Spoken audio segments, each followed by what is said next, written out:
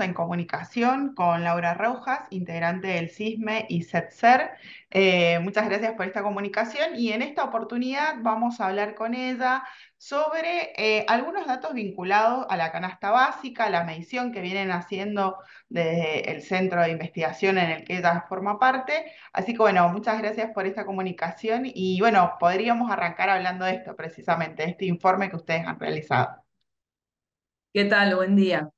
Bueno, nosotros calculamos una canasta básica alimentaria em, que no es exactamente igual que la de la DELLE, sino que lo que buscamos es medir verdaderamente cuánto es el costo para mantener un cuerpo con vida, porque esa sería la canasta básica de alimentos, en el Gran Mendoza.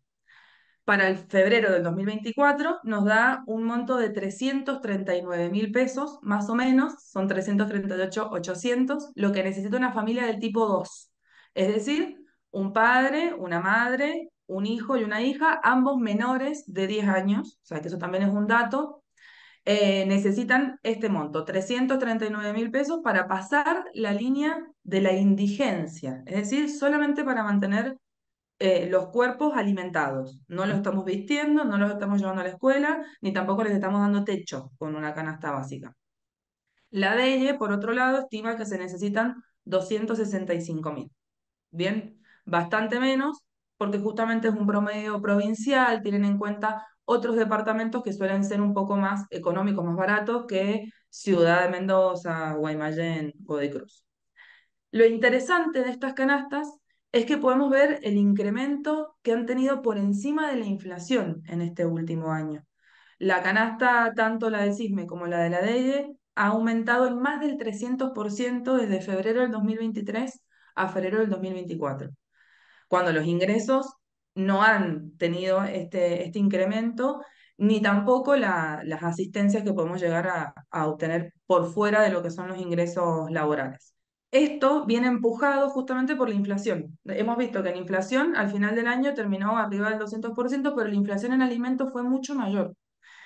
Y esta inflación de alimentos hace que la canasta básica de alimentos aumente, la canasta básica total aumente y por lo tanto las líneas de pobreza y de indigencia también se disparen. Por eso es que ahora estamos hablando de niveles de pobreza que no se han visto antes. Más del 50% de la Argentina hoy en día está por debajo de estas 300 y pico de lucas que se necesitan para, para sobrevivir. Cuando lo comparamos con los salarios, por lo menos para acá, para Mendoza, fuimos a revisar cuáles son los salarios docentes em, de la Dirección General de Escuelas, es decir, los docentes públicos, y vemos que una maestra de grado en marzo del 2024 cobró 309 mil pesos. Es decir, que si ella sola es la que mantiene la casa de cuatro personas, está por debajo de la línea de la indigencia, o sea, no la línea de la pobreza, la línea de la indigencia. O sea que se necesitan dos docentes para cubrir una casa y si fuesen los dos, eh, tampoco llegarían a la línea de la pobreza, que es 633 mil. O sea que dos maestros de grado no llegan a cubrir la canasta básica total, o sea, no cubren los alimentos y además ropa, transporte y otros servicios. Peor es la situación de un celador que cobró 214 mil pesos en marzo y podemos decir que la única persona que se salva es una directora de primaria, que sabemos lo que tiene que, que haber transitado una persona para poder ser directora, que cobró 633 mil pesos, lo mismo que la canasta básica total. O sea que quedó ahí peleando por pesitos para ver si es pobre o, es no pobre.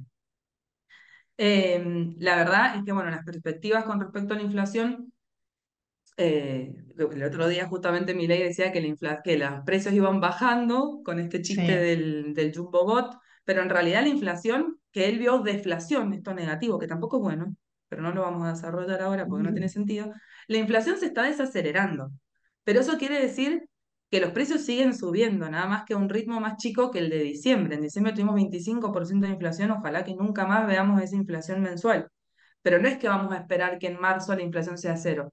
En marzo se estima que va a terminar en 12,5. En abril se estima que va a terminar en 11,1.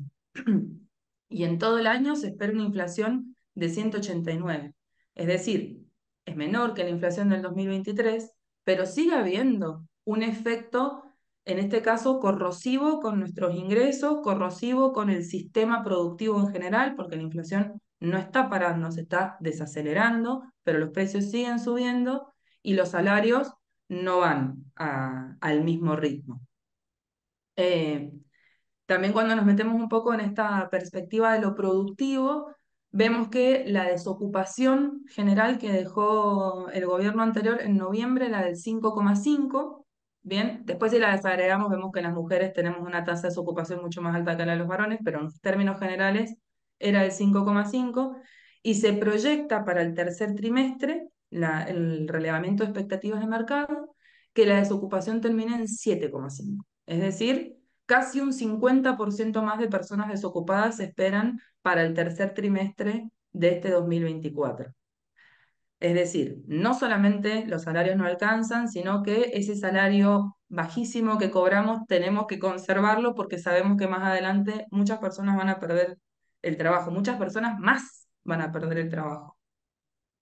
Em, y otros estimadores que han salido hace poco, eh, un informe de Mate, dice que hay una caída de ventas desde, el marzo, desde marzo 2023 a marzo del 2024 de un 28,5%, ventas minoristas, es decir, supermercados y negocios de barrio. Esto también es una muestra de lo que está sucediendo, que sucede desde antes de este gobierno también, pero vemos que hay una profunda caída en la actividad económica y que esto va a repercutir en caídas en los salarios y en caídas en la actividad, en la búsqueda de empleo. Finalmente, este relevamiento de expectativas de mercado dice que el Producto Bruto, es decir, el valor de todos los bienes y servicios que producimos en el país, va a caer un 3,5%, que también 3,5 suena poquito cuando lo comparamos con los montos de inflación, pero es un montón en términos de producción. Vamos a producir menos bienes o nuestros bienes van a valer cada vez menos en términos reales comparados con el resto del mundo. Eh, es decir, no nos estamos recuperando nada, todavía no sabemos cuál es eh, la salida de, esta crisis. Lo cierto es que vamos a bajar los niveles de inflación a costa de que nadie compre. Es decir, vamos a, a lograr que se desacelere el incremento de precios, no porque realmente estemos combatiendo la inflación, sino porque no se está pudiendo comprar, no se está pudiendo asistir a los supermercados a demandar bienes y servicios. Bien, y de alguna manera esto que, que vos planteabas hace una semana atrás, también hablábamos en términos de, bueno, de cómo eso impacta en la recaudación, o sea, cómo también se nota, digamos, que hay una caída de la actividad económica porque hay una caída en la recaudación. De hecho, en el caso de la provincia de Mendoza, se habla, digamos, concretamente de lo que tiene que ver con eh, lo que es, digamos, el, em, el, impuesto de los ingresos brutos, que es uno de los impuestos que grava precisamente la actividad económica. Pensaba en relación a esto que, que decías eh, y que un poco buscábamos hablar sobre la canasta de alimentos por lo que implican, digamos, los alimentos, sobre todo, digamos, en las clases trabajadoras o en los sectores populares.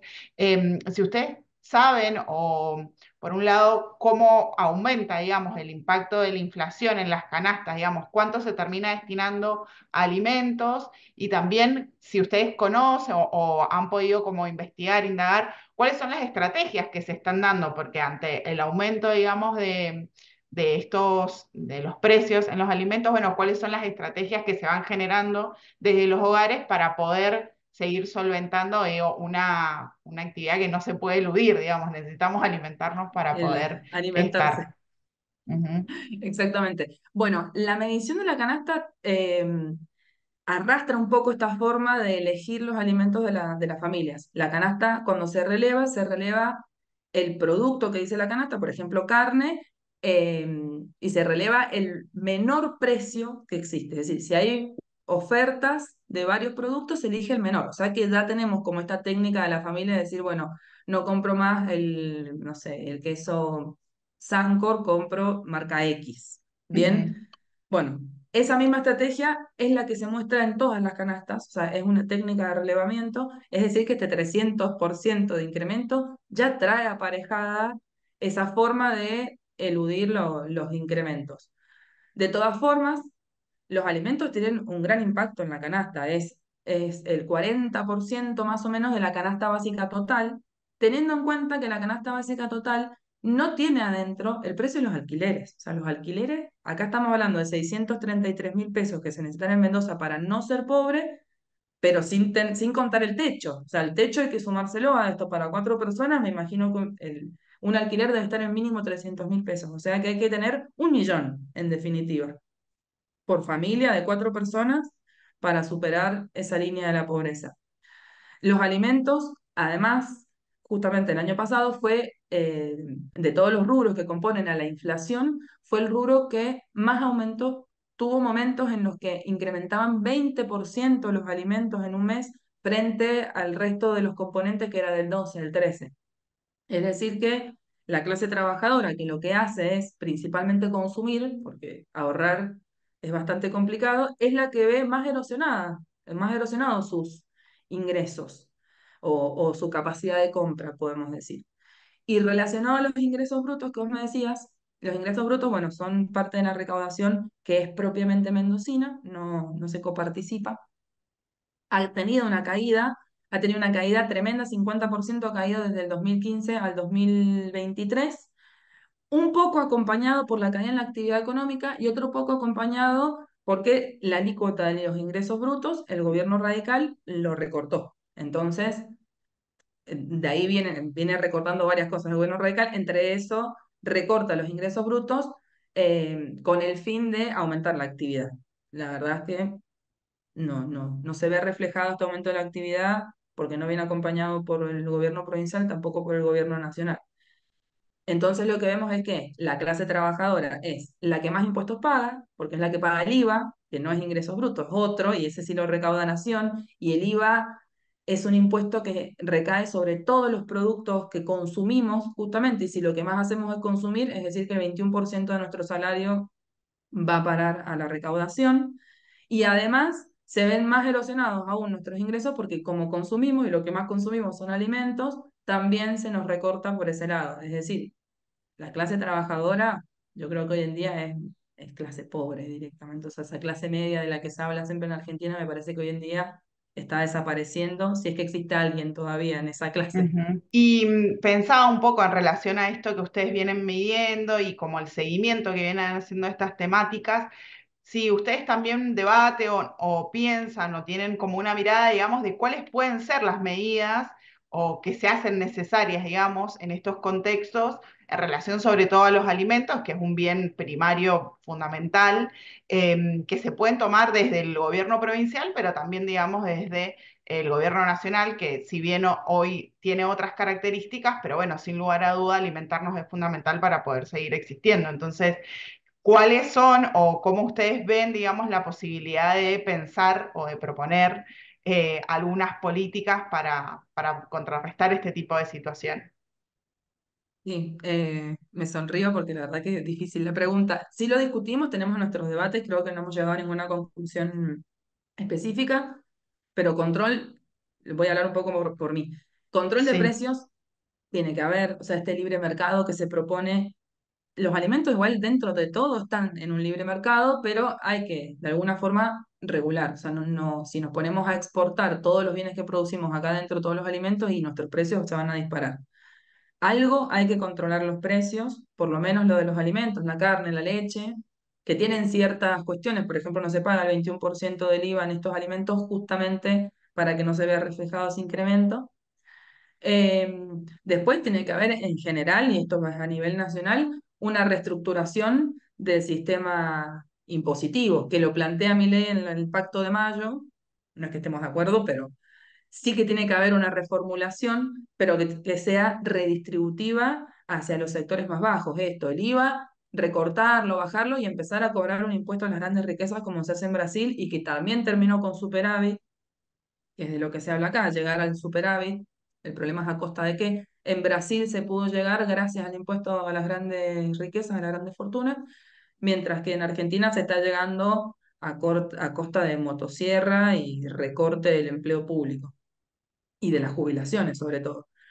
Entonces, una propuesta es, sí, reformulemos el sistema tributario porque la verdad que es bastante injusto, otra de las propuestas que, que, se puede hablar es de la coparticipación, que también lo ha planteado mi ley. Mm, no tengo ni idea cuál es la idea que él tiene, seguramente no vamos a estar de acuerdo, pero tiene que haber un sistema de coparticipación que sea, eh, que redistribuya un poco más a las provincias. Mendoza, dentro de todo, siempre sale bien parada, pero tenemos otras provincias como las del norte que necesitan como un apoyo un poco más grande por parte de la nación y en este momento no lo están recibiendo, ni ahora ni hace un montón de años.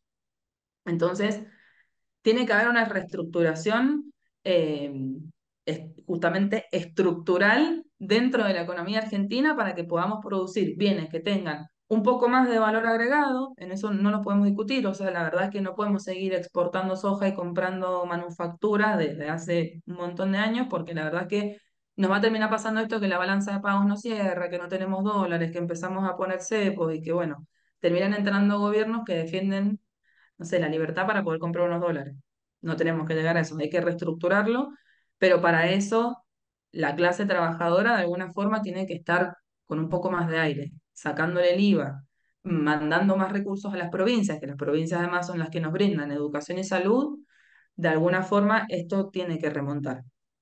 Por lo pronto, si queremos ver qué pasa con la inflación y ponerle un par de techos a algunos, algunos índices, a algunos precios, como para controlarlo y que dentro de todo podamos seguir comprando, porque la verdad es que nuestra capacidad de compra cada vez es menor y eso hace que entremos justamente en las líneas de la pobreza y la indigencia. Bien. Bueno, eh, Lau, te agradecemos un montón por esta comunicación clarísima y seguramente en los próximos meses vamos a seguir convocándote porque precisamente esto que vamos viendo en otros indicadores, como lo que tiene que ver vinculado al mundo del trabajo, como la desocupación y esas protecciones, también alarman em, y bueno, y nos preocupan y también nos ocupan de alguna manera para poder dar a conocer información que muchas veces es difícil eh, acercar a, a la comunidad.